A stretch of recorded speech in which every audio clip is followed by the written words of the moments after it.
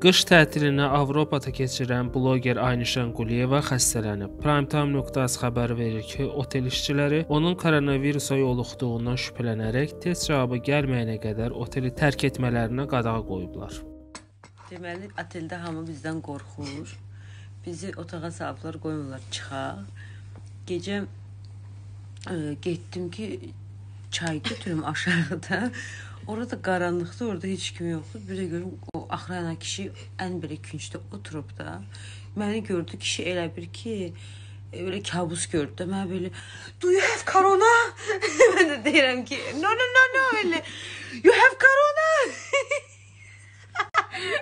Kişi elində oynamaq istədim. Kişi ağzını bağladı, qaçdı. Yəni bildiyiniz qaçdı da. Yəni yoxsa belə söhbət. İndi səhər də elə hazırlaşırdıq ki, zavtraka gedib dedi ki, elə siz oturun otağınızda, biz sizi zavtrak otağa gətirəcəyik. Yəni biz ilk görmək istəmir heç kim bizi bu otağa salıblar. Özdə hər şeydən bol-bol gətiriblər ki də birdən nəsə düşmə ehtimalımız olar.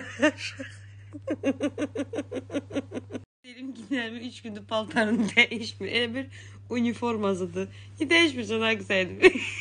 Bu nedir? Gül gelenden aklını kaybetmiş. Hele güllere bak. O kadar derdi ki bu gülleri koyup hareket Ən son xəbərləri və maraqlı videolara Prime Time Azın YouTube kanalında izləyin. Kanala abunə olub videoları bəyənməyi unutmayın.